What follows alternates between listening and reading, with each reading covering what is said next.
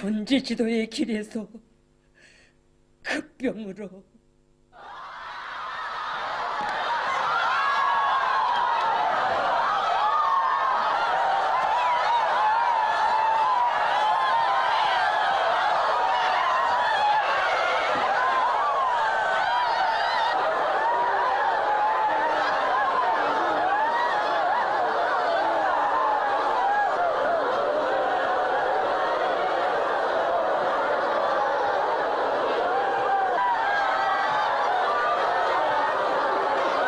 우리 경의하는 장군님께서 우리 4일 전에 우리 백화점 현지도 해주셨습니다.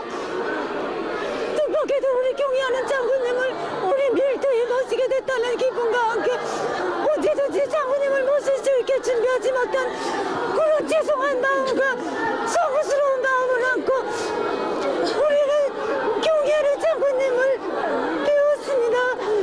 이렇게 장군께서 우리 일도에 오셨겠습니다.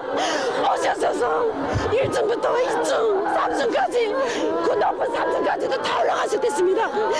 얼마나 이민을 위한 사랑이 컸으면 장군께서 이 첫날에 이 첫날 제일 첫날에 오셨겠습니까? 우리 인민들이 또한 땅가르며 화장품이며 위생상 보시면서 우리 민들에게 많이 바라주라고 말씀하셨습니다.